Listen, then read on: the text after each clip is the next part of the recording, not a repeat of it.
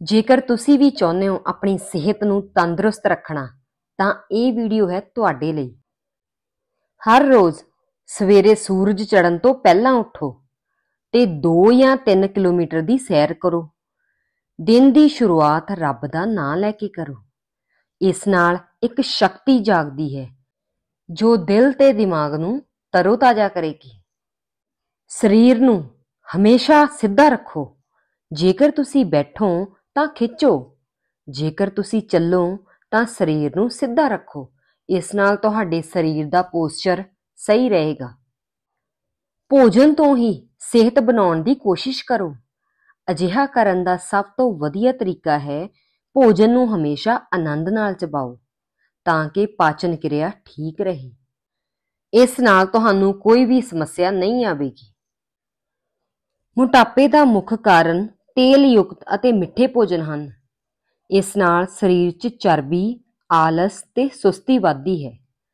ਇਹਨਾਂ ਪਦਾਰਥਾਂ ਦਾ ਸੇਵਨ ਸੀਮਤ ਮਾਤਰਾ ਵਿੱਚ ਹੀ ਕਰੋ। ਭੋਜਨ ਵਿੱਚ ਫਲਾਂ ਅਤੇ ਸਬਜ਼ੀਆਂ ਦੀ ਵੱਧ ਤੋਂ ਵੱਧ ਵਰਤੋਂ ਕਰੋ। ਉਹਨਾਂ ਤੋਂ ਜ਼ਰੂਰੀ ਤੇਲ ਤੱਤ ਪ੍ਰਾਪਤ ਕਰੋ।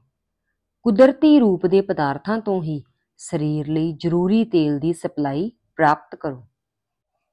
ਗੱਡੀ ਦਾ ਲਗਾਵ ਘਟਾ ਕੇ ਇਸ ਦੀ ਵਰਤੋਂ ਘੱਟ ਕਰਨ ਦੀ ਆਦਤ ਬਣਾਓ।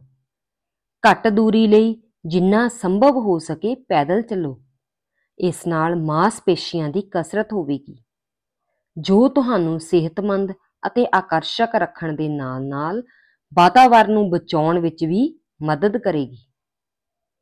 ਸਰੀਰ ਦੀ ਸੁੰਦਰਤਾ ਇਸ ਦੀ ਸਫ਼ਾਈ ਵਿੱਚ ਹੈ। ਇਸ ਲਈ ਇਸ ਦਾ ਖਾਸ ਧਿਆਨ ਰੱਖੋ।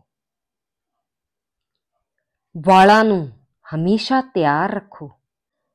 ਆਪਣੇ ਵਾਲਾਂ ਵਿੱਚ ਤੇਲ ਦੀ ਨਿਯਮਤ ਵਰਤੋਂ ਕਰੋ ਤੇ ਬੇਲੋੜੇ ਵਾਲਾਂ ਨੂੰ ਸਾਫ਼ ਰੱਖੋ। ਕ੍ਰੋਧ ਕਾਰਨ ਤਨ, ਮਨ ਅਤੇ ਵਿਚਾਰਾਂ ਦੀ ਸੁੰਦਰਤਾ ਨਸ਼ਟ ਹੋ ਜਾਂਦੀ ਹੈ। ਗੁੱਸੇ ਦੇ ਪਲਾਂ ਵਿੱਚ ਸੰਜਮ ਬਣਾ ਕੇ ਆਪਣੀ ਸਰੀਰਕ ਊਰਜਾ ਦੇ ਨੁਕਸਾਨ ਤੋਂ ਬਚੋ। ਭੋਜਨ ਦੌਰਾਨ ਥੋੜਾ ਜਿਹਾ ਪਾਣੀ ਪੀਓ। ਭੋਜਨ ਤੋਂ ਬਾਅਦ ਜ਼ਿਆਦਾ ਪਾਣੀ ਨਾ ਪੀਓ। ਆਪਣੇ ਪਿਆਰੇ ਦੇਵਤੇ ਦੇ ਦਰਸ਼ਨ ਕਰਨ ਲਈ ਨਿਯਮਤ ਤੌਰ ਤੇ ਸਮਾਂ ਕੱਢਣਾ ਯਕੀਨੀ ਬਣਾਓ। ਤੁਸੀਂ ਕਿਸੇ ਵੀ ਧਰਮ ਦੇ ਪੈਰੋਕਾਰ ਹੋ।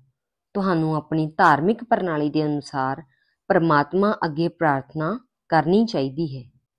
ਅਜਿਹਾ ਕਰਨ ਨਾਲ ਤੁਹਾਨੂੰ ਮਾਨਸਿਕ ਸ਼ਾਂਤੀ ਵੀ ਮਿਲੇਗੀ।